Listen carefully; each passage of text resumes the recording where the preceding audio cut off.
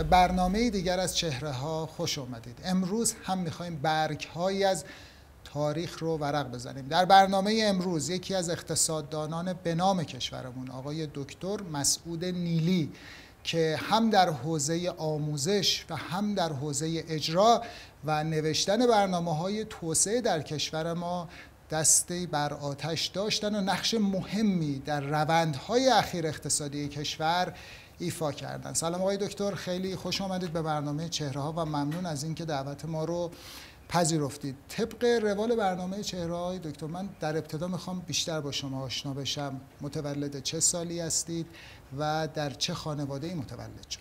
بله. خیلی ممنون. منم سلام عرض می‌کنم به شما و به مخاطبین محترم برنامهتون. من متولد 25 دی سال 1334 در شهر همدان هستم در یه خانواده پدرم کارمند معمولی بانک ملی همدان بودن که اون موقع فقط یه شعبه در واقع تو کل شهر بانک ملی داشت و بنابراین در کنار دو تا برادر من فرزند وسط خانواده هستم. یه برادر بزرگتر و یه برادر کوچیکتر. یه خانواده پنج نفر ما بودیم. توی خانواده ما درس خوندن و ورزش هر دوش ارزش بود. پدرم از یک خانواده بودن که تو اهل ورزش بودن. پدرم کوهنوردی و اینا. انجام می‌دادن. و مادرم هم خیلی خانم با استعدادی خیلی خانم با استعدادی بود و خودش خیلی دوست داشته که درس بخونه ادامه بده و اینها. ولی خب تو فرهنگ خانوادگی اون موقع ایشون رو در سن 13 سالگی در واقع با پدرم در واقع به ازدواج پدرم در آورده بودن. ایشون همیشه می‌گفتن که من اصلا دوست نداشتم که اون موقع ازدواج می‌کردم و دلم می‌خواست که ادامه می‌دادم. واقعا هم خیلی خوب با باهوش و با استعداد بودم. و هم پدرم هم مادرم خیلی درس خوندن رو تشویق می‌کردن و به همین خاطرم منم دوران دیگه کودکی و در واقع مدرسه و اینا رو که تا دیپلم من تو شهر همدان بودم دیگه جزء در واقع دانش آموزای درس خونه به اصطلاح شهر محسوب می شدیم دیگه. و شرایط درس خوندنم البته اون موقع خیلی شرایط سختی بود واقعا. ما مثلا کلاسمون یک کلاس خیلی متراکمی بود. مدرسه ای که توش من درس میخوندم دیگه دیپلم اونجا گرفتم. مدرسه ای بود که هم کلاسی هایی داشتیم که شاید مثلا پنج سال از من بزرگتر بودن یعنی هی رد شده بودن تو سالهای مختلف و اینها و اصلا فضایی که اون موقع توی حداقل اون مدارسی که من می‌دیدم حالا مدرسی که من خودم بودم و مدارس دیگه هم کم و بیش همینطور بود خیلی خیلی متفاوته با اون چیزی که شما الان اینجا مشاهده می‌کنید. مثلا فرض کنید گلاویز شدن معلم با دانش آموز فراوان اتفاق میافتاد که خب خیلی چیزای عجیبیه. تو اون فضا ما تو اون کلاس مثلا که حالا به منتهی به دیپلم شد شاید مثلا پنج نفر دانش آموزی بودیم که می‌شد بگیم مثلا درس خون بودیم.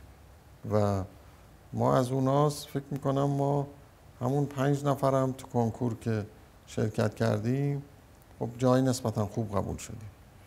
در دوره در واقع تحصیل و زندگی در شهر همدان به خاطر اینکه همین گفتم ما ورزش هم کنار درس خوندن خیلی مورد تاکید بود. من از کلاس هفتم که یعنی وارد دبیرستان شدم ورزش بسکتبال رو شروع کردم. بعد دیگه دیگه شدم جز تیم بسکتبال مدرسه. یعنی ما تو مسابقات مدرسه ای و اینا شرکت می‌کردیم. علاوه بر اونا ولی خب من خیلی علاقه زیادی به شنا داشتم.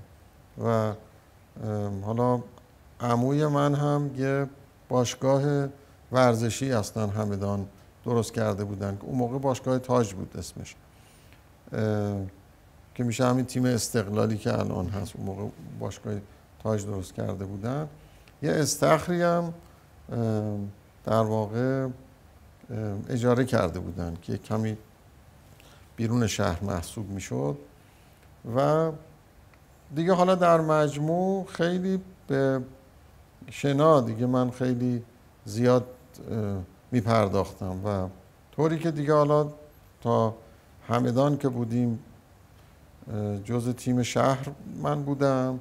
دانشگاه هم که آمدیم من جز تیم شنایی دانشگاه بودم و مدال کشوری و اینا هم مدال نقره هم تونستم حالا یا نقره یا برونز تونستم بگیرم تو کرال صد متر سینه. و در نتیجه ورزش هم خب یه چیز مهمی بود. حالا شاید یه مقداری به قسمت بعد هم مرتبط بشه. من از همون سالهای اول دبیرستان که همون کلاس هفتم میشه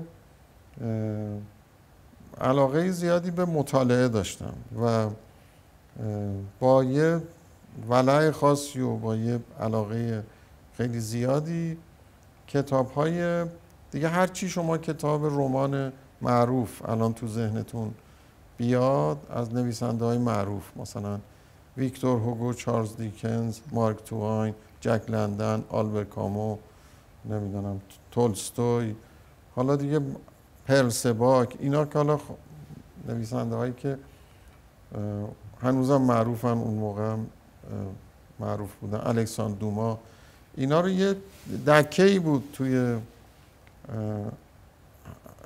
کنار خیابون شهر همدان که کتاب ها رو کرایه می‌داد به اصطلاح. و من می‌رفتم این کتاب ها هم از بس خونده شده بود. دیگه هی چندین بار صحافی شده بود کناراش خط کشیده بودن پاره کرده بودن و اینها. دیگه من خیلی خیلی زیاد مشغله کنار همه اینها این بود که کتاب زیاد میخوندم. به خصوص حالا توی فصل تابستان کتاب میخوندم. دوچرخی دوچرخه دست دوم از این دوچرخه هرکولس پدرم خریده بودن. خیلی دوچرخه سوار میشه یعنی به صورت یه چیزی بود که فراوان دیگه استفاده می‌کردم. یعنی هم برای آمد و شدای معمولی خودم هم به عنوان ورزش که مثلا مسافت های نسبتا زیاد رو با دوچرخه مثلا با دوست دوستایی که داشتم صبح زود می‌رفتیم مثلا تا عباس آباد همدان مثلا مسافت زیادی. از منزل ما مسافت زیادی بود. می‌رفتیم بعد اونجا صبحونه میخوردیم برمیگشتیم میآمدیم. در نتیجه حالا اینا مشغله های شاید بشه گفت که اصلی ما محسوب می‌شد دیگه. اینا خانواده مذهبی بوده خانواده مذهبی نمی‌تونم بگم مذهبی نه. یعنی ولی خب مثلا پدرم نماز میخوندن مادرم نماز میخوندن ولی اون مذهبی که الان ما می‌شناسیم نه اونطوری نبودن. طوری که مثلا من فرض کنید که باز همون شاید فکر می‌کنم کوچیکتر بودم. شاید من کلاس مثلا پنجم دبستان شاید اینا بودم که پدرم یه آکاردئونی برای من خریدن یه روز آوردن گفتن که می‌خوام بذارم کلاس موسیقی. موسیقی. بعد که دیگه همونو ما گرفتیم دستمونو. با ایشون رفتیم. یه آقایی بود که آموزش می‌داد آکاردئون آموزش می‌داد. و دیگه ما رفتیم اونجا و من دیگه کلاس ها رو مرتب رفتم. طوری که دیگه یاد گرفتیم دیگه. و بعد اون وقت اون موقع حالا نمی‌دونم الان اینا هست یا نیست ولی اون موقع شاید شنیده باشید. یه اردوگاه رامسر بود که دانش اردوگاه دانش آموزی بود. الان اردوگاه میرزا کوچکان اسمش. نزدیک شهر رامسر فکر می‌کنم کمتر از مثلا ده کیلومتری شهر رامسر قرار داره. از همه کشور از هر استانی نه از هر شهرستانی از هر استانی هنرمنداش هنرمندای دانش آموز یه مثلا فکر می‌کنم یه هفته ده روزی می‌رفتن اون اردوگاه شرکت می‌کردن و برنامه های خودشون رو اجرا می‌کردن. یعنی حالا البته تو اونا موسیقی بود نمایش بود مطمئن نیستم که نقاشی و اینا بود یا نه ولی موسیقی و نمایش که حتما بود. دکلمه و مثلا این چیزا بود. در نتیجه یک گروه موسیقی دانش آموزی از همدان مثلا میره فرض کنید از کرمانشاه همینجور از جای دیگه همینجور که منم در واقع تا اون سالی که دیگه از یه زمانی به بعد دیگه درگیر درس و اینا خیلی زیاد شدم دیگه ادامه ندادم. ولی تا یک زمانی من هر سال می‌رفتم اردوگاه رامسر برای آکاردمون آکاردمون بله بله. و در نتیجه می‌خوام بگم که مثلا اینطوری بود. فرض کنید یا اینکه آزادی که برای ما قائل می‌شدن با وجود با وجود فضای خب بیرون فضای خیلی میشه گفت بازی بود دیگه از نظر فرهنگی و اینها.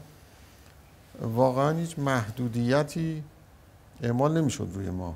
به لحاظ معاشرت نمی‌دونم آمد و شد نمی‌دونم اینا که بگیم یه فضای مثلا محدودی برای ما ایجاد بکنن اینطوری نبود.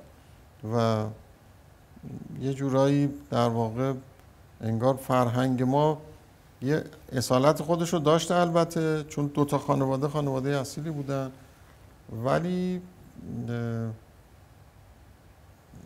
کم و بیش تو همون فضای اون زمان قرار داشتیم دیگه. بنابراین من حتی تا وقتی که من وارد دانشگاه شدم و شاید سال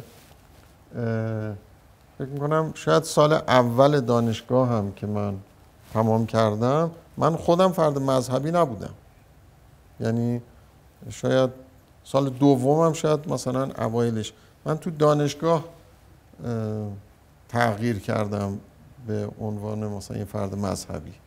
ولی اون موقع نه خیلی خانواده بازی بودیم و ما هم خیلی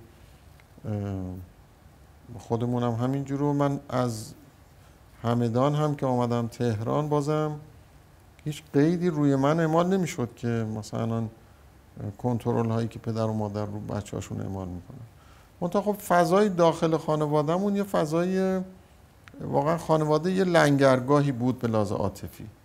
این چیز مهمی بود. یعنی رابطه ما با مادرمون با پدرمون رابطه نزدیکی بود. به اندازه خانواده ما تحصیل براشون مهم بود. شاید براتون جالب باشه. من برادر بزرگم. وقتی که دیپلمش رو گرفت ایشون خیلی نقاش و خطات خیلی خوبیه. خیلی ایشون به لحاظ خط خیلی خیلی خطات خوبیه. نقاشی هم همینطور. در نتیجه ایشون اصلا علاقش به معماری بود. و خب هنوزم فکر می‌کنم همینطوره که ایتالیا یک کشور شاخصیه. دانشگاهاش توی معماری خیلی شناخته شده هستن و خیلی خیلی معتبر هستن.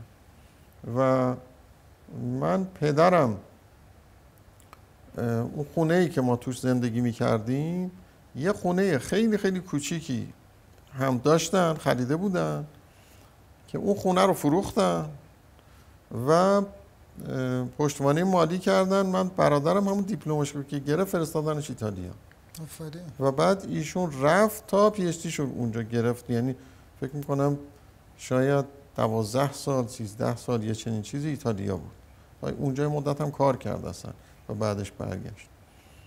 و خب این جالبه دیگه یعنی برای یه خانواده ای که مثلا توی شهرستانی دارن زندگی می‌کنن و برای مادرم خیلی علا رقم این که خیلی خیلی سخت بود که دوری در واقع بچهش رو بخواد تحمل بکنه ولی ایشون قصهش رو می‌خورد به لحاظ دوری ولی همه جرم پشتیبانی کرد که پدرم رو تشویق می‌کرد که حالا که این دوست داره بره بره بهترین دانشگاه شما رفت دانشگاه فلورانس.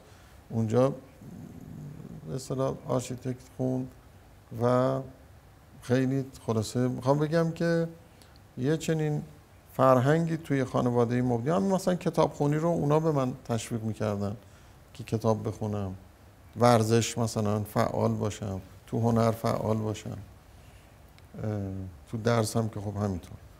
بنابراین فضای خانواده فضای خیلی خوبی بود. ما توی فضای آزادی واقعا بزرگ شدیم. هر چیزی رو که از نظر سبک زندگی هر کدوم از ما انتخاب کردیم انتخاب خودمون بوده. هیچ چیزی رو از سمت خانواده نگرفتیم.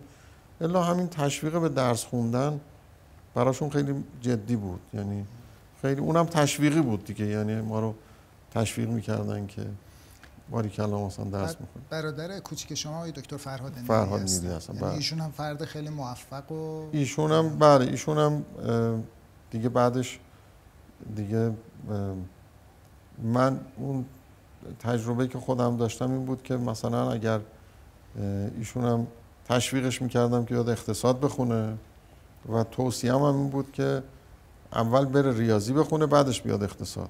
ایشون هم همین کار کرد رفت دانشگاه شریف. سنتی شریف ریاضی خوند که پایه خب اقتصاد بعدش دکتراشو فوق لیسانس و دکتراشو توی اقتصاد ادامه داد. ولی این دیدگاه خانواده شما خیلی جالبه. مثلا این دیدگاه رو در خانواده فرمان فرمایان در خانواده اشراف زاده ها ما می‌بینیم که فرزنداشون رو سعی می‌کردن چند بعدی تازه اونا خیلی سختگیری هم می‌کردن. یعنی بله. خداشون هم که مستقیم در تربیت فرزنداشون دخیل نبودن. بیشتر می‌دادن به اطرافیانشون به خدمشون این کار رو انجام می‌دادن میفرستادن خارج از کشور تحصیل کنن. برای من این کاری که پدر و مادر شما انجام میدن خیلی جالب بود. اینو مثلا بر چه دیدگاهی؟ مثلا می‌خوام ببینم این ریشه قبلی داشته چون اون موقع خیلی جامعه ایران هم این چیزا رو تو بله. خانواده های معمولی نبودش مثلا بله. موسیقی برو یاد بگیر برو شنا آره، کن بله. بسکتبال اونم کجا همدان همدان بله یعنی بله شهرستان. آره یعنی من یه کارمند نمی‌دونم. ملی چجوری میشه که آره مثلا نمی‌دونم راستش شاید نقش مادرم زیاد بوده احتمالا که اونا خب- بیامرزتشون چند وقت پیش هم سالگردش. بله بله. که حالا ایشون خانوادهشون هم کلا یعنی خواهر برادرها همه تحصیل کرده و کلا خانواده با استعدادی بودن. یعنی من دایی دو تا دایی من دارم هر دو با وجودی که همین اونا هم همدان دیپلم گرفتن و درس خوندن ولی هر دو پزشکی دانشگاه تهران کنکور قبول شدن و هر دو پزشک هستن الان. یکیشون بازنشست هر دوشون بازنشسته شدن. ولی پزشکای خیلی خوبی بودن خوب درس خوندن. اونجا خب کسی خودش باید درس بخونه بیاد تو کنکور شرکت بکنه و قبول بشه دیگه. و مثلا خاله های من آموزش پرورش رفته خانواده فرهنگی و اهل درس و اینها بودن. و یه خانواده با استعدادی بودن. حالا من حالا بعدا توضیح خواهم داد. با با خانومم که ما ازدواج کردیم با هم نسبت فامیلی داشتیم. یعنی من خانومم دختر دایی مادرم چه سالی ازدواج. کرده؟ سال 58 58 بله. ولی من می‌خوام بگم که پدر خانم من که میشه دایی مادرم خیلی شباهت زیادی به مادرم داشتن به لحاظ استعداد و ایشون فوقالعاده بود توی هوش و استعداد و اینا واقعا خیلی خیلی جالب بود. و با یه نسبتی هم باز تو همین خانواده مادری فکر می‌کنم شاید مثلا پسردایی مادرم می‌شدن. همین آقای دکتر اعتماد که سازمان انرژی اتمی بودن ایشون هم همدانی هستن و همین یه نسبت نزدیکی با مادرم داشتن. اینا کلا خانواده با استعداد با استعدادی بودن و حالا دیگه حمایت می‌کردن از این چیزا. بله من برام خیلی جالب بود که واقعا من مثلا تو اون سن وقت سرخاروندن نداشتم دیگه. یعنی مثلا شما مثلا عضو تیم مد... عضو تیم بسکتبال مدرسه که باشی باید تمرین می‌رفتیم نمی‌دونم باید یه کارایی انجام می‌دادیم. خب وقت می‌گرفت دیگه. ضمنا من خب دانش آموز برجسته کلاس بودم. بنابراین درسم باید زیاد میخوندم. تو هنرم بودم مثلا تو هنر مثلا مناسبت های مختلف بود. ما می آمدیم تهران می‌رفتیم یعنی در واقع جز تیم موسیقی شهر همدان بودیم دیگه. بنابراین همین که میگید اینا خانواده خیلی مشوق این چیزا بودن و بله حالا نکته درست شما توجه کردید که مثلا چطور یه خانواده معمولی که مثلا پدر یه کارمند معم... کاملا ایشون کارمند معمولی بانک ملی بودن و مادرم هم خب همینطور دیگه. یعنی یه خانواده معمولی. اینقدر بچه هاشون رو تشویق می‌کردن که مثلا تو این زمین ها وارد بشن مثلا فرهاد برادر کوچیک هم مثلا ایشون تو شطرنج مثلا زیاد کار می‌کرد و مثلا فعال بود و اینا. یعنی خانواده خلاصه ما رو تشویق می‌کردن حالا در جهت علاقه ای که داشتیم بتونیم رشد بکنیم. خب وارد دانشگاه شدید. رشته مهندسی سازه سازه آره. ما دانشگاه من از همدان که دیپلم ما گرفتیم من که دیپلممو گرفتم خب کنکور خواستیم شرکت کنیم دیگه. من کلا هیچ در واقع ارزیابی از خودم نداشتم که مثلا من الان مثلا نفر ده هزارم نسبت به بقیه نفر دهمم نفر صدمم خب این خیلی در واقع ضعف اطلاعاتی بزرگیه. اون موقع ما وقتی می‌خواستیم انتخاب رشته بکنیم اولا که اون موقع کنکور اینجوری نبود که یک کنکور باشه. ما یک کنکور سراسری داشتیم که دانشگاه تهران و دانشگاه حالا امیر کبیر الان میگن دانشگاه پلیتکنیک بود اون موقع. مثلا علم و صنعت نمی‌دونم اینا بودن. دانشگاه صنعتی آریامهر اون موقع جدا کنکور می‌گرفت. دانشگاه شیراز جدا کنکور می‌گرفت. دانشکده نفت آبادان هم خیلی با پرستیژ بود و رقابت زیادی بود چون کسانی که می‌رفتن دانشکده نفت آبادان دانشجو می شدن آینده شغلی خیلی خوبی براشون در واقع رقم می‌خورد.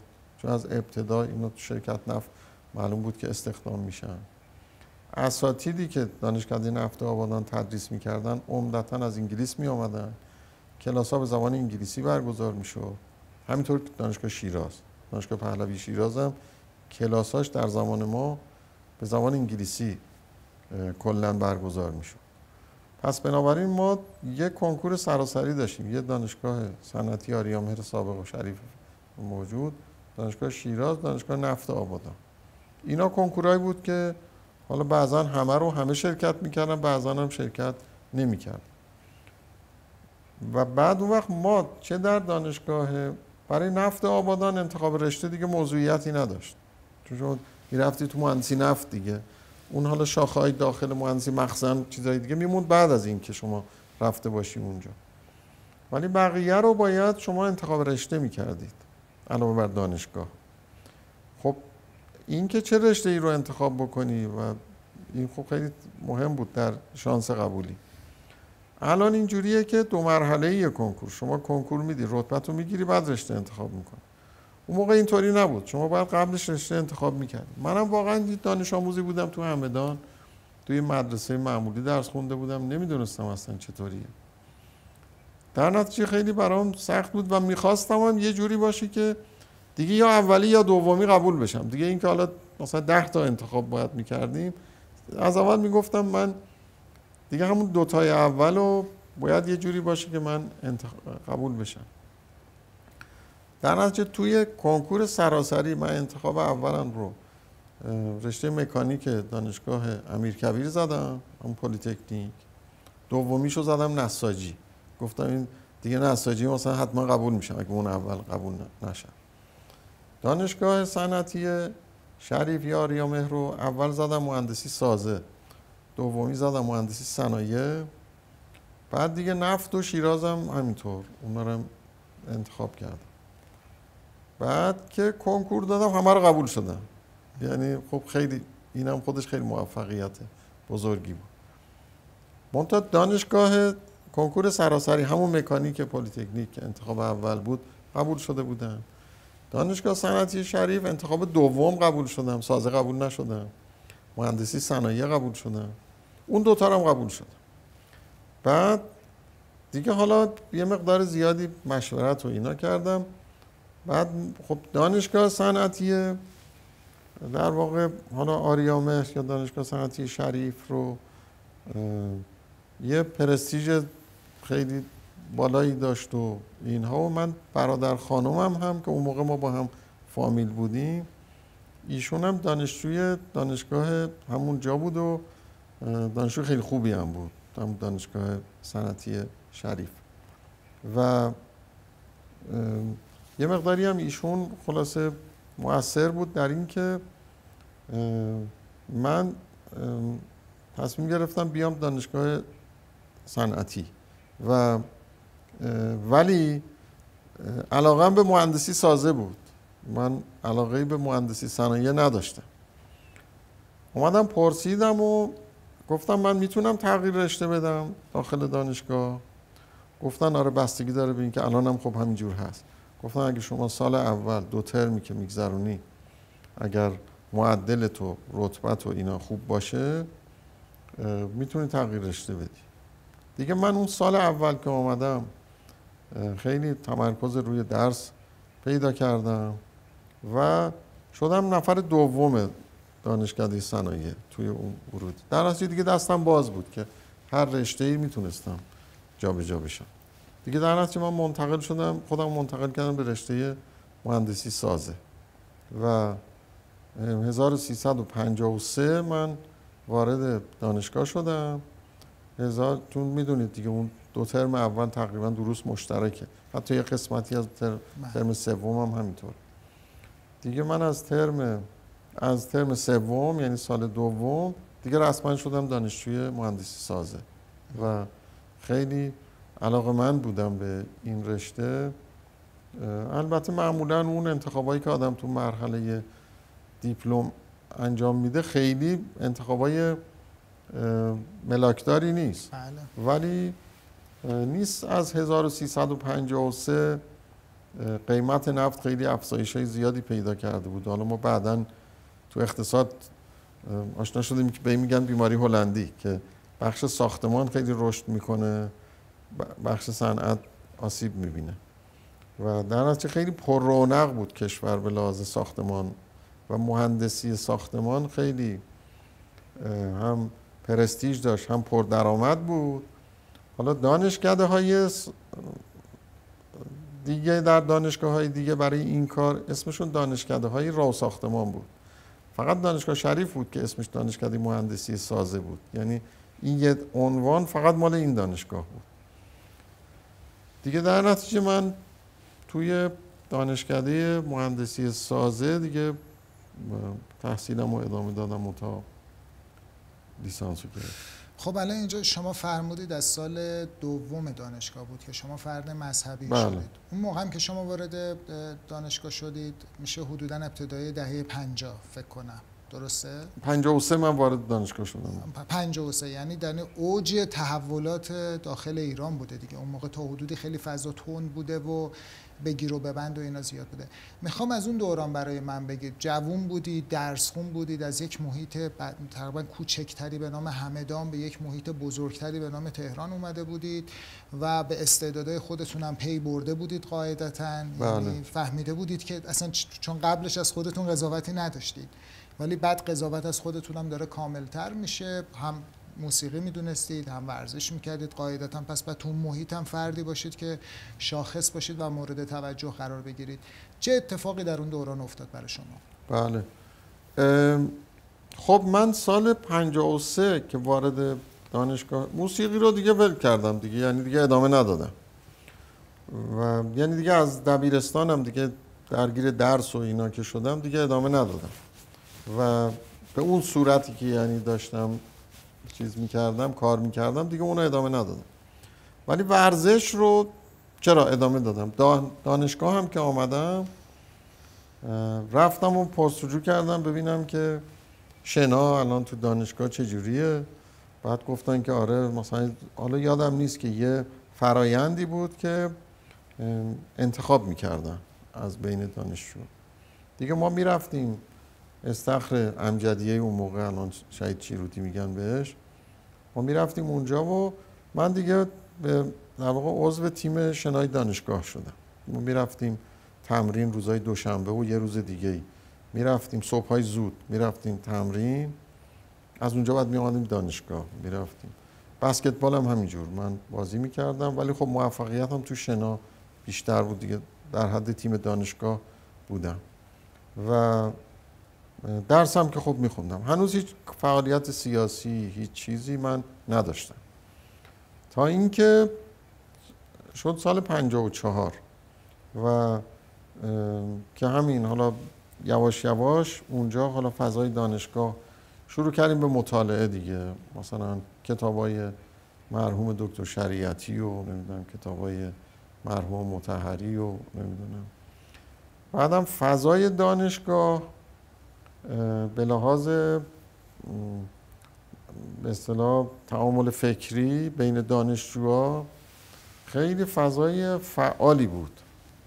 به این صورت که کلا ما می‌تونیم بگیم که چهار دست دانشجو داشتیم. یه دست دانشجوهای درس خون که هیچ کاری به هیچ چیزی دیگه نداشتن فقط درس میخوندن. یه دست دانشجوهای یه کمی اهل خوشگذرانی و مثلا یه کمی هم درس خوندن و اینا. یه دست دانشجوهای مارکسیست بودن یه دست دانشجوهای اسلامی. این میشه چهار دست دانشجو. اون بخشی که دانشجوهای مارکسیست و دانشجوهای اسلامی بودن بخش خیلی فعالی بود به لحاظ همین چالش های فکری و اینها. و اینا چون با هم بودن توی فضای دانشگاه توی حالا من خوابگاه نبودم ولی تو خوابگاه اینا که با هم دیگه بودن بحثای جدی در واقع بین همه در می گرفت که خب خیلی آزاد بود دیگه. مثلا فرض کنید دانشجویی که مارکسیسته کلا منکر وجود خداست نمی‌دونم دین رو اصلا نفیش می‌کنه اینا. این طرف مثلا دانشجوی مسلمونه که خیلی مثلا اعتقادات خودشو محکم درست کرده و اینها می با هم دیگه بحث می‌کردن دیگه. و یه روز می‌دیدیم مثلا امروز این دانشجو آمده مثلا تا دیروز جز دانشجوهای مسلمون از فردا مارکسیست شده. یعنی خیلی اتفاق میافتاد. برعکسش هم می‌شد. دانشجو مارکسیست بود می اومد نماز خون می‌شد و می اومد به سمت. یا مثلا فرض کنید من یه دانشجوی بدون گرایشی بودم وقتی وارد دانشگاه شدم.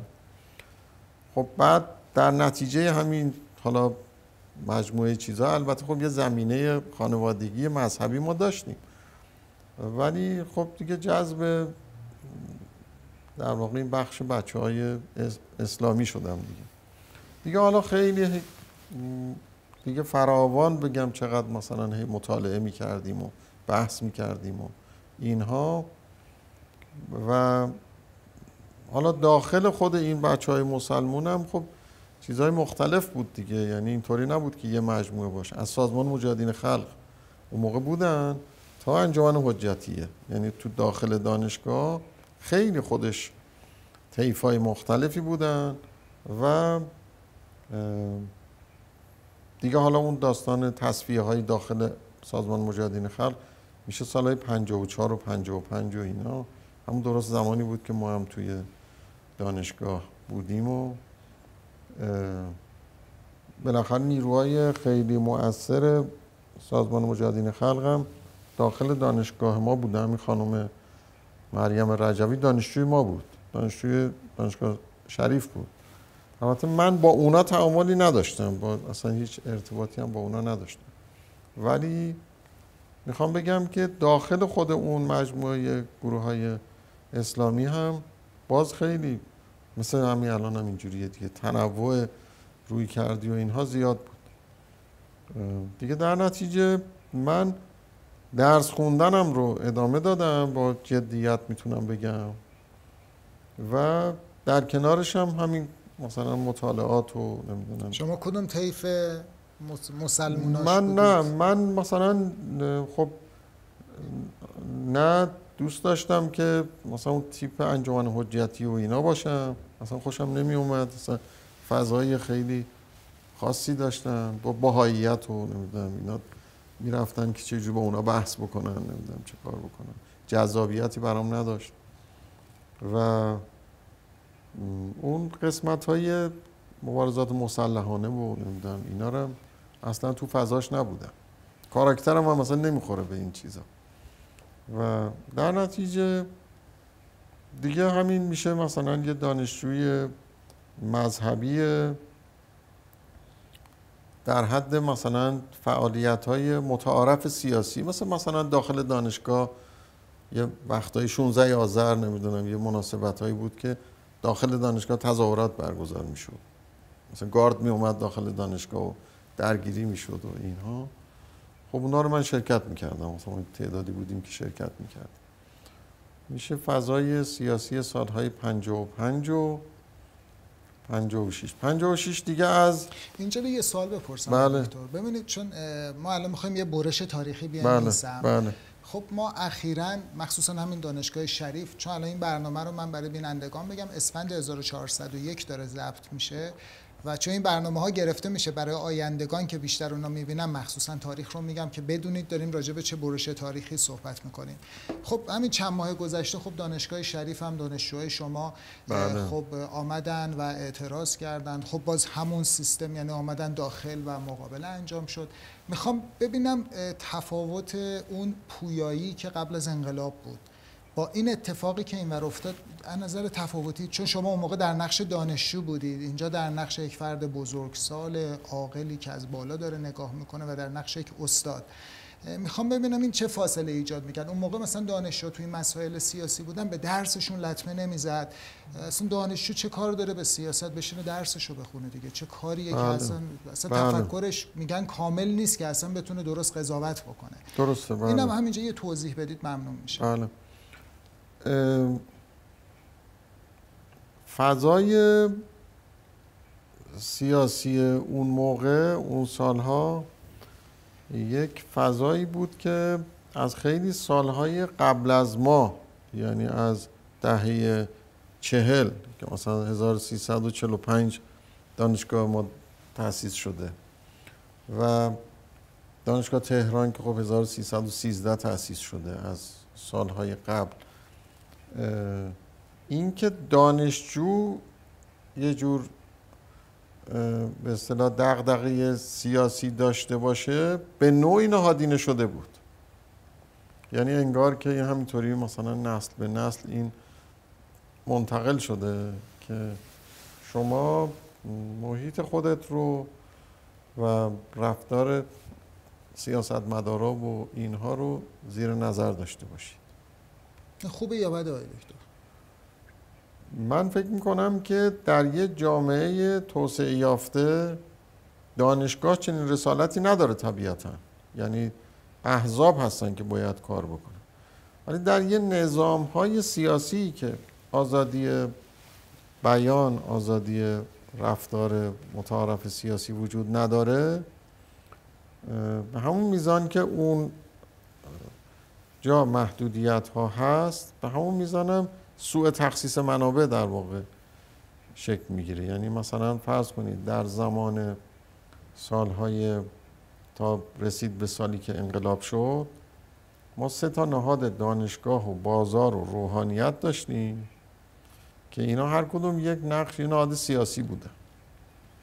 و در حالی که خب قاعدتا هیچ کدام نباید سیاسی کار می‌کردن. ولی مثلا بازار فرض کنید اعلام می‌کرد امروز تعطیله. به فرض خیلی چیز مهمی بود که بازار تهران مثلا اعلام کرده تعطیل. یا مثلا یه مرجعی اعلام می‌کرد کلاسامو من تعطیل کردم امروز. یا تو دانشگاه مثلا این اتفاقات میفته بنابراین خیلی به نظر من در ما باید توی فضای اون شرایط نگاه بکنیم به ارزیابی یه چنین چیزی بپردازیم. و یه شکافی بین کلا قشر روشنفکر و قشر تحصیل کرده ای که دقدقه های اجتماعی و اینا داشت با حکومت به تدریج داشت شکل می گرفت و داشت بزرگ می شد و این آسیب شناسی این که حالا چرا چنین اتفاقی افتاده؟ خودش یک کاریه. بله. که کار منم نیست. ولی اون چیزی که برایند برداشت مثلا نسل ما نسبت به سیستم سیاسی اون موقع بود این بود که مثلا نوع تعاملی که با دنیا داره یه تعامل نابرابر خیلی یعنی خیلی بالا به پایینه. اونا نگاه بالا دارن ما پایینی.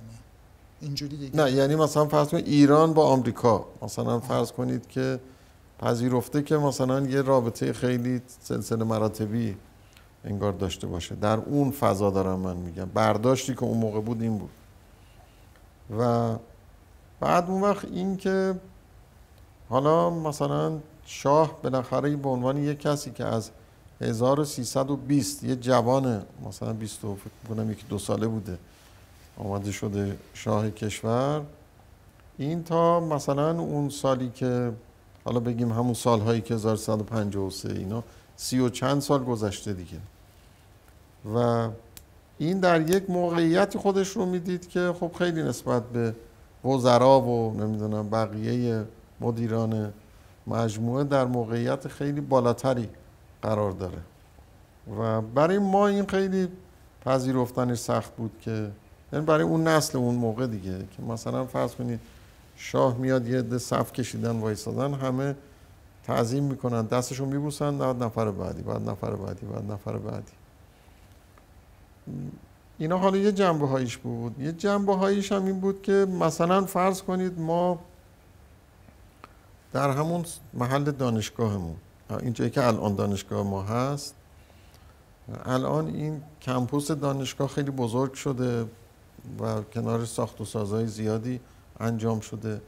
بزرگراه یادگار امام کشیده شده. نمی‌دونم تغییرات زیادی توی اون منطقه اتفاق افتاده منتها اون موقع ما یه خیابان زنجان داشتیم که الان هم خیابان زنجان هست. ولی دیگه افتاده بین ما و بین دانشگاه. که می آمد تا می رسید به خیابان آیزنهاور اون موقع خیابان آزادی الان. و حالا می‌خوام اینو بگم که ما از دانشگاه که می آمدیم بیرون از زل شمالی دانشگاه که می آمدیم بیرون می رسیدیم به نزدیک همون خیابان زنجان.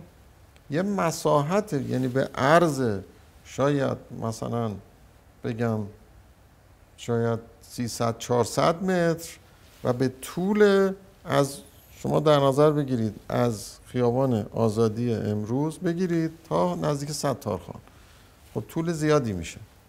این کلش حلبی آباد بود. خب یعنی اینکه تعداد زیادی به صورت خیلی خیلی متراکم و تو شرایط خیلی واقعا بدی دیگه حلبی آباد به معنی واقعی کلمه. یعنی دیوار نداشت اصلا خونه ها با همین حلبی و اینا واقعا درست کرده بود.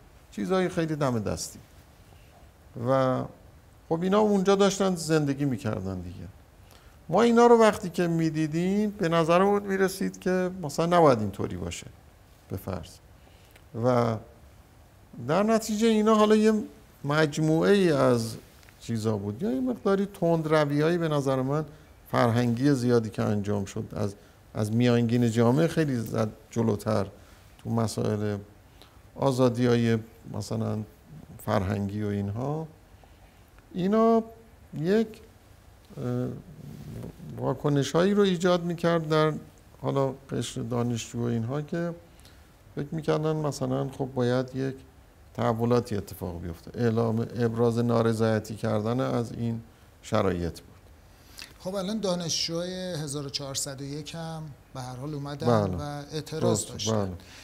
خب شما اون موقع وقتی گاردیا می اومدن چه حسی داشتید؟ آیا مثلا بعدش متنبه می شدید خوشحال می شدید می گفتید ای اومدم منو زدم و فهمیدیم که اینجوری نیستش. می‌خوام ببینم برای دانشجوهاتون چه صحبتی دارید؟ حالا شما یه بار تجربه دانشجو بودن دقیقا تو اون برش تاریخی رو داشتید بله. دیگه. الان البته خیلی متفاوت این قضیه. اون موقع گارد دانشگاه می اومد روزهایی که مطلع می شدم روزهای خاصی بود دیگه. مثلا امروز 16 آذره می‌دونستن که شلوغ میشه. از این ریوهای گارد می اومد داخل دانشگاه. مثلا سه جای دانشگاه مستقر می شدن پیاده نمی شدن اینو داخل ماشین نشسته بودن با باتوم و از این چیزهایی که کلاهایی که داشتن و لباسهای فرم. و دیگه بعد بعد بچه ها شروع می‌کردن. اینا پیاده می‌شدن دنبال می‌کردن. دنبال می‌کردن و می‌زدن دیگه. حالا به پا می‌زدن مثلا اینجوری بود حالا به سر نمی‌زدن و دیگه این یه قسمت چیزیش بود انتظامیش بود. یه قسمت امنیتیش هم این بود کارهایی بود که ساواک قاعدتا انجام می‌داد. بعد این, این مسائل مثلا درون شما سایر دوستان مثلا چه حسی حس تنفر ایجاد می‌کرد؟ حس چی ایجاد بله دیگه خب بالاخره می‌دونید فکر حس خوبی نداره آدم که فکر بکنه که بالاخره می‌خواد یک یعنی قاعدتا اگر شکل مسالمت آمیز اعتراض با واکنشی همراه نمی‌شد این نوع کاری هم که دانشجو انجام می‌دادن یه شکل دیگه به خودش می‌گرفت. یعنی منظورم اینه که این مقداری عکس عملیه دیگه. بنابراین این که در واقع چقدر آزادی به رسمیت شناخته میشه این حرف اصلیه. حالا چه الان باشه چه اون موقع. به هر صورت هیچ دانشجویی فکر نمی کنم که به دنبال تخریب باشه به دنبال مثلا یه حرفی داره دیگه. نهایت اینه که یه حرفی داره می‌خواد بزنه. حالا چه دانشجوی الان باشه چه دانشجوی اون موقع. مهم اینه که شما بذارید خب حرفشو بزنه دیگه. اگه الان در مقایسه با اون موقع ما چند دهه پشت سر گذاشتیم. بشر تجربه بیشتری پیدا کرده. کشورهای دیگه این تجربیات رو داشتن. ما قرار نیست همچنان همونا رو تازه یه مقداری هم چیزتر بخوایم انجام بدیم. در نتیجه فکر می‌کنم که کلا سرکوب یه اعتراض. چیز خوبی نیست هیچ وقت خوب نیست. هم در ایران اینجا خوب نیست هم در اون موقع خوب نبود هم تو کشور دیگه خوب نیست. اعتراض اعتراضه. حالا اون مطمئنا اون اعتراض قبلش انتقاد بوده. بعد شده اعتراض. بعد اعتراض بعدش میشه خشم. بعدش میشه نفرت. بعدش میشه درگیری مسلحانه و اینها. یعنی خب این یه دومینوییه که شما می‌تونید تو همون مرحله انتقاد اینو بیاندازی توی مسیر دیگری که اتفاقا خودت تصمیم گیرنده منتفع بشه از این. یعنی خب من اگه یه فرد مسئولی هستم حتما در معرض خطا هستم. هر انسانی در معرض خطاست و چی بهتر از این که یکی بیاد بگه که شما داری اشتباه می‌کنی اینجا؟ خب من خطامو درست می‌کنم دیگه. چرا باید اون درگیر بشم. من اگرم می‌بینم اشتباه داره میگه خب من توضیح میدم. خداوند به پیغمبراش میگه که شما چیز نیستید وکیل مردم نیستید که. شما فقط پیام منو به اینا منتقل کنید. دیگه بقیه کار شما دیگه تمام همینه. خداوند خودش تو قرآن میگه من اگه می‌خواستم همه مردم رو یه دست می‌کردم. من خودم نخواستم که همه یه دست بشن. خب حالا خدا نخواسته دیگه. حالا بنابراین این که انتقاد بتونه در مسیر سازنده قرار بگیره من فکر می‌کنم خیلی به نفع سیاست مدارم هست. و در مجموع به نظرم بازنده این داستان سیاست مداره وقتی که بد برخورد می‌کنه. چون این هی شما ببینید مثلا اون داستان روز ده مهر دانشگاه ما همین امسال. خب من خودم اونجا بودم دیگه. این خب چقدر انکاس داشت توی فضای داخل دنیا نمی‌دونم همه اینا که مثلا این, این اتفاق افتاد دانشجوهایی که مثلا آدم اونجا باید بود می‌دید دیگه خودش. مثلا ما این دفعه به قول شما این دفعه ما به عنوان هیئت علمی آمدیم حائل شدیم بین دانشجوها و نیروهای امنیتی. وایسادیم اونجا که در واقع اینا بالاخره یه مقداری در حفاظ امنیت قرار بگیره یه تعداد قابل توجهی از این دانشجوها اون روز روز اولی بود که اصلا وارد دانشگاه شده بوده. یعنی اینا رو احتمالا صبح با چه مثلا تشریفاتی این خانواده با چه اشتیاق اینو فرستادن بعد من همونجا وایساده بودم بالا با بقیه هم کارمون بودیم می‌دیدیم که می‌دیدم دیگه. مثلا اون پدر و مادری که آمده بودن پشت نرده ها وایساده بودن و اصلا در مرز سکته کردن بودن که بتونن فقط بچهشون رو بردارن و برن اصلا. یعنی می‌گفتن ما اصلا دیگه نخواستیم اصلا دانشگاه بنابراین اینا خب یه عالمه شکاف توسعه نیافتگی و توسعه یافتگی دیگه. یعنی اینکه شما به اون بلوغی برسی که در واقع بگی که نه اتفاقا خیلی هم خوبه که اینا بیان انتقاد بکنن. چرا بشه اعتراض؟ همون تو انتقاد بیان حرفشون رو بزنن دیگه. چه اشکالی داره؟ خب بعد اینا در وقتی شما همین همین جمله که میگیم چه اشکالی داره؟ این میشه حزب دیگه یعنی میشه که شما انتقاد رو وقتی سازماندهی می‌کنی حزب درست میشه. حزب که درست شد اون وقت از اون مسیر خشونت میفته توی مسیر دیگری اصلا داستان. و بعد اینا اون وقت میشن یه آلترناتیوی در سیاست. میگن خب شما میگی من می‌خوام اینجوری بازار ارز و مدیریت بکنم. اون حزب میگه من اینجوری مدیریت می‌کنم. خب این که خیلی بهتره که دو تا راه حل راه بشه برای یه مسئله. تا شما بگی بهتر از ما پیدا نمیشه. می‌خوام تو همون دوران بپرسم تحت تاثیر چه کسی بودید؟ تحت تاثیر اندیشه چه شخصی قرار گرفته بودید؟ و اینکه از مکتب اقتصادی خاصی پیروی می‌کردید یا اینکه نه تو همون عالم مهندسی خودتون سیر می‌کردید؟ بله من به لحاظ اقتصادی که هیچ چیزی واقعا نداشتم که چون من در واقع فکر می‌کردید یه روز همچین اصلا نخه اصلا نخه هیچ اصلا فکر نمی‌کردم. اصلا فکر نمی‌کردم یه روزی من ممکنه سراغ اینجور اصلا رشته ها بیام و اینها. اصلا فکرشو نمی‌کردم. چون جذب مارکسیسم هم نشده بودم بنابراین نسبت به مسائل مطالعه می‌کردم دیگه زیاد. خب؟ و البته یکی از شاید چیزای جالبی که برای من پیش اومد نمی‌تونم الان بگم که چقدر انتخاب آگاهانه من بوده چقدر اون شرایط بوده نمی‌تونم واقعا قضاوت جنبندی شده ای داشته باشم. ولی خود به خود من در یک مسیری قرار گرفتم که در مطالعات خودم خیلی سخاوتمندانه عمل می‌کردم. یعنی به این معنی که مثلا که مطالعه که می‌کردم از خیلی طیف گسترده ای من مطالعه می‌کردم.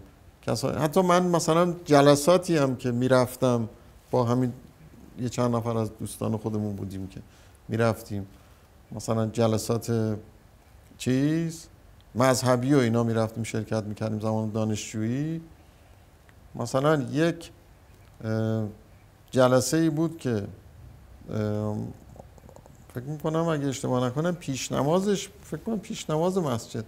آقای توی خیابان شهید با هنر الان که بالا میریم بعد از پمپ بنزین یه مسجدی بله. هست که آقای موسوی خوینی ها اونجا پیش نماز اونجا بود. جمعه شبا فکر می‌کنم. ما می‌رفتیم اونجا ایشون تفسیر قرآن می‌گفت. اون تا تفسیر قرآنی که ایشون می‌گفت یه تفسیر قرآن صد درصد سیاسی بود. یعنی که میگو اینجا منظورش تاغوت اونجا منظورش اینه. یعنی همش سیاسی بود دیگه. یعنی کلا چیز می‌کرد. یعنی همه, چیز رو می آورد توی کانتکست به اصطلاح اون فضای سیاسی تعارضی که اونجا وجود داره. خب حالا از اونجا می آمدی پایین همین خیابون شهید با هنر فعلی رو می‌رسید دزاشی. بله. اونجا مسجد دیگه ای هست. اونجا علامه اسکری چیزش بود پیش نمازش بود. ایشون اصلا کلا غیر سیاسی بود و چیز بود دانشمند فکر می‌کنم حدیث بود. مثلا یه, یه در واقع عالم سنتی بود کاملا. و یه شما می‌رفتیم ایشون هر هفته باز چیز می‌گفت. مثلا مسائل اعتقادی و اینا می‌گفت می‌خوام بگم که چه در مطالعه چه در این چیزایی که مثلا مجالس و جلسات و اینایی که من شرکت می‌کردم هنوز ذهنم این بود که پرسشگر بودم که خودم رو نبستم به یک مثلا جریان خاصی. بیشتر حالا فکر می‌کردم خب حالا کلیت موضوع اینه که به نظرم می‌رسه که اسلام یه دین خوبیه برای اینکه آدم بخواد زندگیشو بر مبنای اون بگذاره آینده شخصی خودشو بر مبنای اون منظم و مرتب بکنه. و اون حالا مخالفت های سیاسی و اینا رو به تدریج چک گرفته. ولی من هیچ وقت یه مبارزه سیاسی به اون معنی که تو تشکیلات و سازماندهی و اینا باشم واقعا هیچ وقت نبودم. و تو این تظاهرات ها و اینا به غیر از اون چیزی که تو دانشگاه بود دیگه بعد از اینی که سال تبدیل شد تظاهرات به تظاهرات مردمی و اینها خب من فکر می‌کنم اگر اشتباه نکنم شاید همون سال 1356 به نظرم یکی از کارهایی که انجام دادم این بود که یه مسجدی تو خیابون ستارخانه. الان مسجد حضرت ابوالفضله که توی خیابون نزدیک شهرآراست اونجا من رفتم با پیشنماز مسجد اونجا صحبت کردم و اونجا آمدم مثلا کتابخونه درست کردیم و مثلا کتاب های کتاب می‌دادیم بچه ها می آمدن سخنرانی اونجا دعوت می‌کردیم بیان. اون مسجد رو فعالش کردیم که مثلا کارهای فرهنگی و نمی‌دونم اینا بتونه انجام بده. مثلا دیگه در این حد یعنی دیگه بخوام بگم بیشتر کارهای سازمانی یافته و تشکیلاتی و اینها رو نه. کلا طبع آرومی طبع آرومی داشتم. بله بله. بعد هزینه تحصیل دوران دانشگاه شما از سمت خانواده تامین میشه دکتر؟ بله. البته خب می‌دونید که یک کمک هزینه تحصیلی اون موقع داده می‌شد به دانشجوها که چه خوابگاه هم گفتید نبود. خوابگاه نبودم. ولی من خوابگاه که نبودم منزل همون داییم که داییم تهران زندگی می‌کردن. من فکر می‌کنم که دو سال اونجا بودم و دو سالم یه اتاقی توی خیابون کارون پایین روبروی دانشگاه میشه. یعنی میره پایین. اونجا من اجاره کرده بودم اونجا زندگی می‌کردم. دانشگاه اگر اشتباه نکنم 330 تومن یا 350 تومن کمک هزینه تحصیلی به دانشجوها می‌داد. ماهیانه؟ ماهیانه. و پول زیادی بود؟ که پول زیادی نبود ولی خب بدم نبود برای اینکه بخوایم حالا یعنی از خانواده به من کمک می‌کردن ولی اون خیلی نقش داشت واقعا. الان شما تو دانشگاه شریف به دانشجوهاتون پول می‌دید. نخه نخه ولی اون موقع یه کمک از این تحصیلی از ابتدا که می آمدیم از ما می‌گرفتن یه تعهدی هم از ما می‌گرفتن از دانشجو. که مثلا تو ایران کار کنید. به فرض الان هم بعد از اینی که دانشجو اون موقع من بعدا که می‌خواستم برای دکترا برم و اینها باید می‌رفتیم اون تعهدمون آزاد می‌کردیم که نشون می‌دادیم مثلا دو برابر مدت تحصیل تو ایران کار کردیم. به فرض که درسته. یعنی اون برای این بود. انقلاب شد کجا بودید؟ یعنی چی کجا بودم؟ بهمن 57 شما همین من همین در واقع من هنوز دانشجو بودم. کف خیابون و اینا یا اینکه بله بله. یعنی من وقتی که سال 57 شد من همین تهران بودم. همین منزل در واقع همین داییم که گفتم اونجا زندگی می‌کردن من اونجا بودم. بعد دیگه همون بیرون بودیم و تو تظاهرات بودیم و اینا. بعدش هم دوباره تو همون مسجدی که من تو مسجد نزدیک منزل اونا بود دوباره تو همون مسجدم مثلا یه سری کارایی اون موقع مثلا مساجد فعال شده بودن و یه کارهای کمیته هایی تو مساجد تشکیل شده بود و اینها. اونجوری فعالیت می‌کرد بعد از انقلاب خب افراد تحصیل کرده ای مثل شما که خب گرایش مذهبی هم داشتن یکی از اولویت های اصلی بوده که کار بگیرن. یعنی برن کارها به این افراد. به نیروهای رژیم سابق یا اکثرا رفته بودن یا بله. گرفته بودنشون و مناسب خالی شده بود. می‌خوام ببینم اون موقع چه اتفاقی برای شما افتاد؟ رفتید که مثلا بگید آقا مثلا من فرد مذهبی ام مثلا ببینم سمتی چیزی. بله. نه من اون موقع اولا هنوز درسم تمام نشده بود. ولی سالهای آخر بود دیگه. بله ولی من سال در واقع انقلاب فرهنگی چیز 59 بود؟ فکر کنم 59 بود بله. من درست همون وقتی که در- یعنی یکی از یعنی شاید اگه من اون ترم واحدام طوری بود که فارغ التحصیل نشده بودم الان حتما اینجا نبودم. یعنی من اتفاق بزرگی بود تو زندگی من افتاد که من درست وقتی که دانشگاه تعطیل شد فارغ التحصیل شدم. یعنی آخرین هیچی فارغ نموند. التحصیل قبل از هیچی نموند از من. مثلا خیلی از هم کلاسی های من مثلا یه چند واحدشون باقی مونده بود که این دیگه رفت تا مثلا خیلی گذشت دیگه. تا دوباره دانشگاه باز شد و برگردن بیان درسشون رو تمام بکنن بنابراین من هنوز سال 57 فکر می‌کنم که بالای اگه اشتباه نکنم شاید مثلا بیست و چند واحدم مونده بود. یه چنین چیزی. که بعد ما در زمان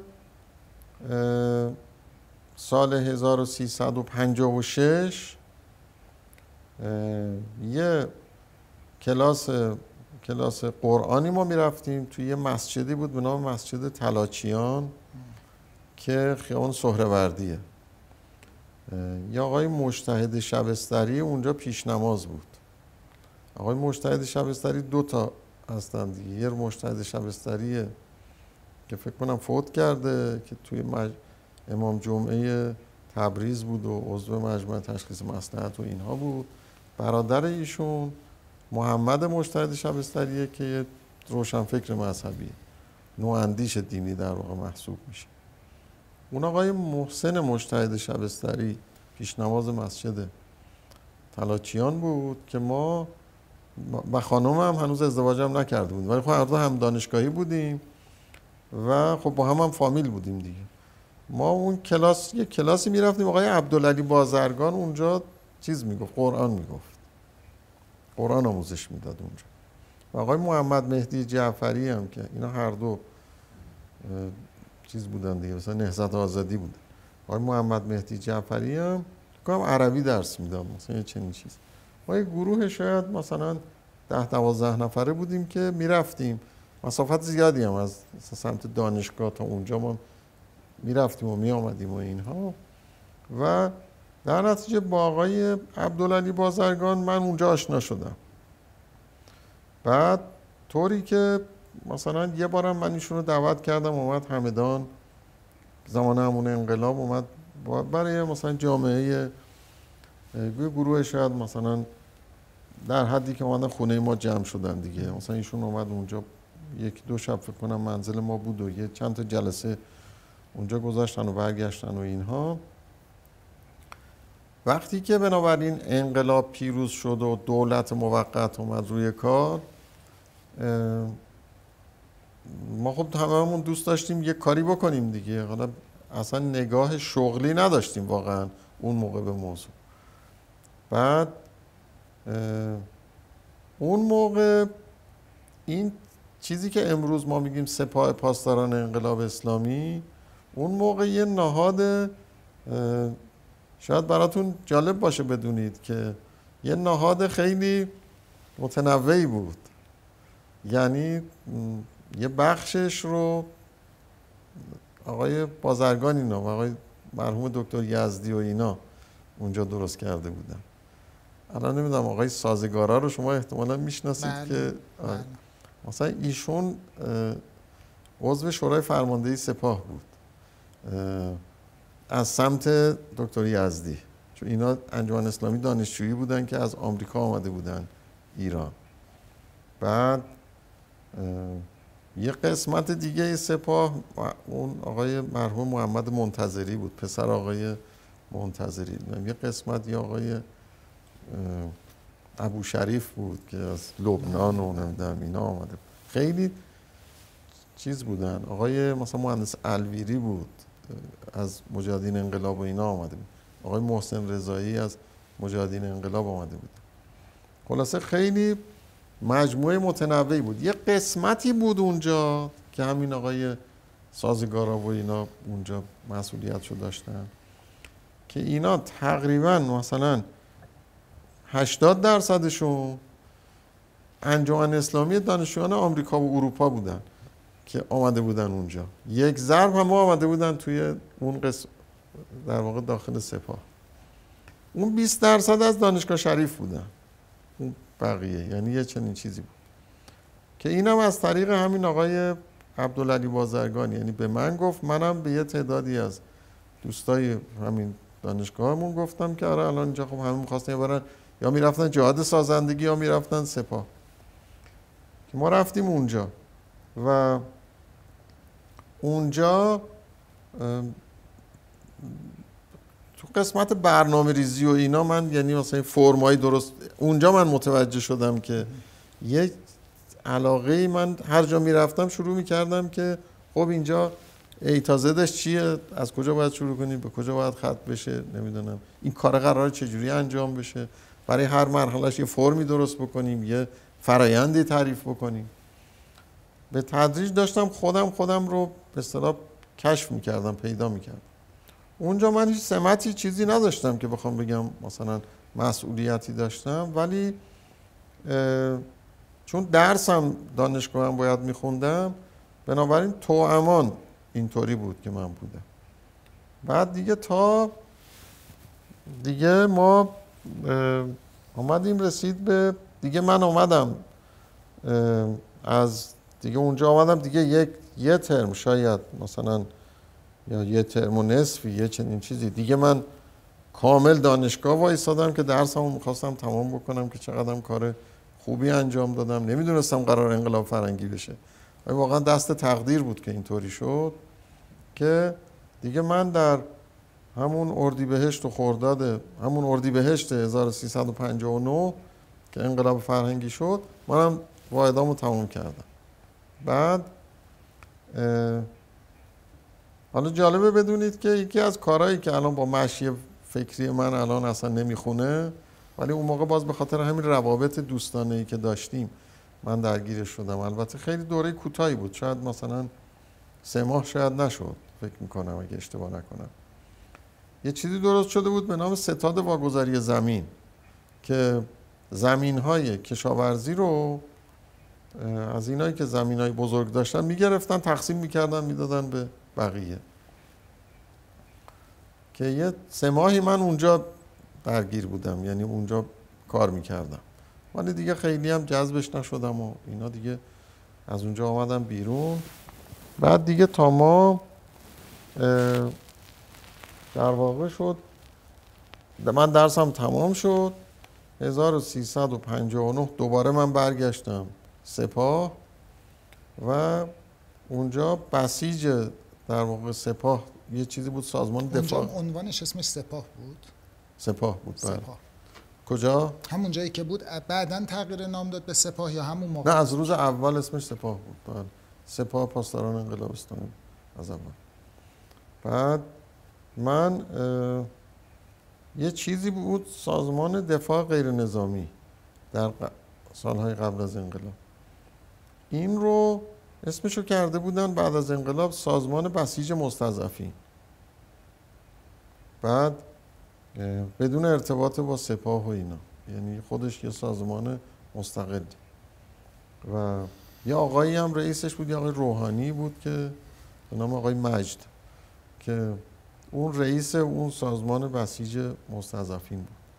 بعدا اون رفت از ایران رفت و رفت شورای مقاومت و مجاهدین خلق و اینا بود. یعنی حالا دیگه این تحولاتی بود که اینجا اتفاق افتاد.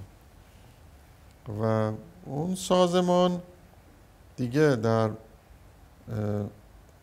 سپاه ادغام شد و دیگه حالا ما اونجا بودیم تا جنگ شروع شد دیگه. دیگه شد عملا درگیر مسائل جنگ بودیم تا 1361 من به خاطر یک سری مسائل خانوادگی و اینا که پیش اومد ما تصمیم گرفتیم با خانومم که بریم همدان.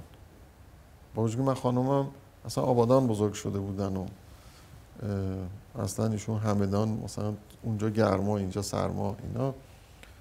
ولی ما رفتیم یک سال ما همدان بودیم من رفتم جهاد سازندگی همدان.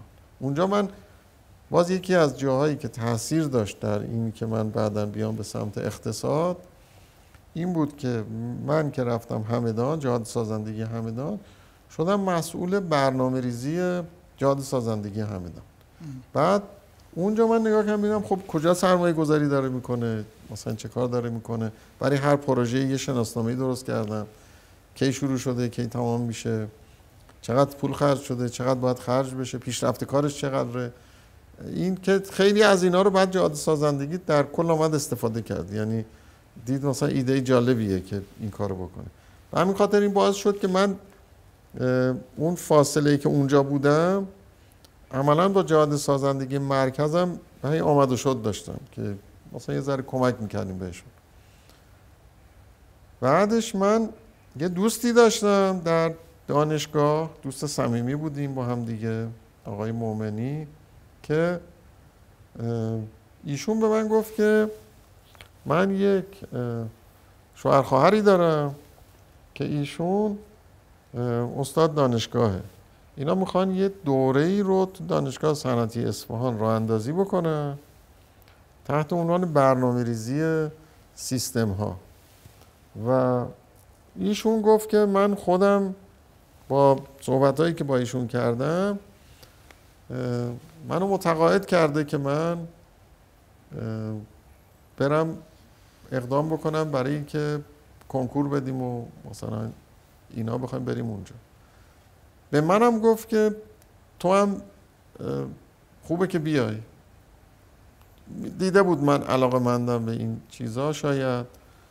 گفت که من به شما می‌خواستم پیشنهاد کنم شما هم بیای من خیلی خیلی در واقع این تصمیم رو خیلی من بالا پایین کردم که این کارو بکنم یا نکنم. شاید به مراتب بیشتر از ازدواج من راجع به این بررسی کردم چون ازدواج برام خیلی سرراست بود. به خانومم علاقه داشتم به هم خیلی علاقه من بودیم و دیگه چیزی نداشتیم. یعنی خیلی فکر کردن نمی‌خواست.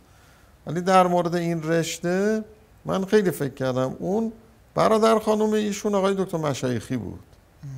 بعد که اون موقع ایشون سازمان برنامه بود. دانشگاه تعطیل شده بود رفته بود سازمان برنامه. من گفتم که من باید بیام با ایشون صحبت کنم. خیلی من چیز دارم یعنی ابهام دارم که می‌خوام واقعا بیام یا نمی‌خوام بیام و اینا. دیگه گفت باشه ما یه قرار مشترکی گذاشتیم و ما رفتیم سازمان برنامه و ایشون همون دفترش تو سازمان برنامه بود. ما اونجا نشستیم و من دیگه مفصل خیلی صحبتمون هم طولانی شد و ایشون هم دیگه توضیح داد و اینها و منم باز آمدم بازم علا رقم اینا بازم خیلی بررسی کردم و دیگه جنبندی این شد که بریم اصفهان دانشگاه صنعتی اصفهان. یه دوره ای رو با پشتیبانی سازمان برنامه احتمالا آقای دکتر مشایخی توضیح باید داده باشه بله، بله. یه دوره ای رو با سازمان برنامه اسپانسر شد که برای تامین کادر خودش کار جالبی بود خیلی که هیچ وقت دیگه الان هم از این اتفاقات نمیفته برای تامین کادر خودش بیاد یه دوره ای رو با اونجا با کیفیت خیلی خوب راه اندازی بکنه و بشه دوره برنامه ریزی سیستم های اقتصادی که دیگه ما رفتیم اونجا این دیگه در بله بله. قسمت خیلی ممنون آقای دکتر. خب قسمت اول در واقع گفتگوی ما با آقای دکتر مسعود نیلی رو شنیدید در برنامه چهره ها که عموما این قسمت به در واقع اتفاقاتی که حدودا قبل از انقلاب بود و البته یه گریزی هم به بعد از انقلاب زدیم. اینجا که آقای دکتر نیلی از مهندسی سازه لباس مهندسی و تقریبا دیگه داره آویزون می‌کنن و دارن میان کم کم لباس برنامه ریزی و اقتصاد و این گونه موارد رو برتنشون کنن. تا اینجا کار فهمی که من داشتم این بود. از یک خانواده ای که خانواده خیلی مؤثر بودن در پیشرفت علمی ایشون در چند بعدی کردن. فردی که خیلی به دور از تنش های اجتماعی در واقع زندگی کردن. بیشتر این سم در قسمت تفکری بیشتر حضور داشتن. یا بعد از انقلاب هم نگاه کردن کجا به کار میان و در هر جایی که به کار بوده آمدن وارد شدن و بعد من یه چیز نکته ای که جالب بود مثلا با خودم مقایسه می‌کنم خیلی مثلا تو این بود نبودیم فکر کنیم انتخاب رشته هر چی به پستمون می‌خورد معمولا به هر انجام می‌دادیم. ولی خب فهمی که پیدا کردم ایشون در هر نقطه ای کامل نشستن بررسی کردن و اون کاری که فکر می‌کردن درسته رو انجام دادن. انشاءالله در گفتگوی بعدی با آقای دکتر نیلی در مورد وقایع بعد از انقلاب که عمده بحث های این روز جامعه ایرانی هم همین نکات هستش گفتگو رو ادامه میدیم. تا برنامه بعد خدا نگهدار.